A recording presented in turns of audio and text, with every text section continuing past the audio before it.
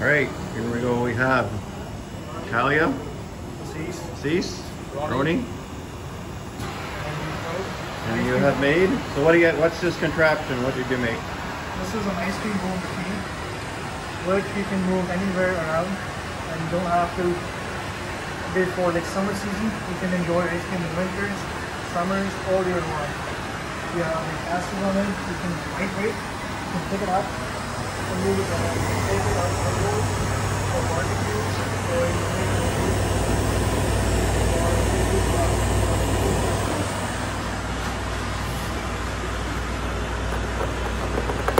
Look at that ice. Nice.